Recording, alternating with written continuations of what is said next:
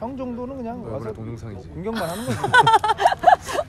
봤다 이번에 딱 봤다. 딱 봤다. 어, 홍진영 형딱 봤어. 응. 옆에서